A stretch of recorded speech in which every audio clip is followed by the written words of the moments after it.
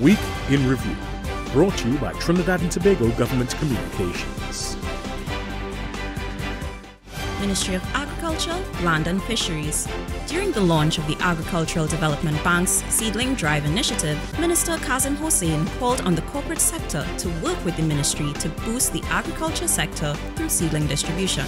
This event, which signaled the ADB's thrust to encourage home gardening and promote food sustainability, will empower families and communities to get involved in primary agricultural production. Ministry of Rural Development and Local Government. The ministry recently rolled out its third phase of its We Clean TT campaign in the Siparia Regional Corporation. Minister Faris Al Rawi was present to assist with the coordination of the day's activities. Ministry of Social Development and Family Services. Minister Donna Cox met with Commissioner of Police McDonald Jacob to begin discussions on a roadmap to addressing social issues related to criminal behavior in Trinidad and Tobago. The meeting was convened as a strategic move to call stakeholders together in an attempt to safeguard families in the society.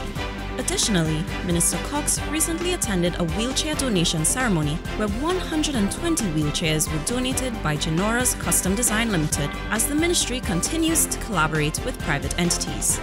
Ministry of Youth Development and National Service.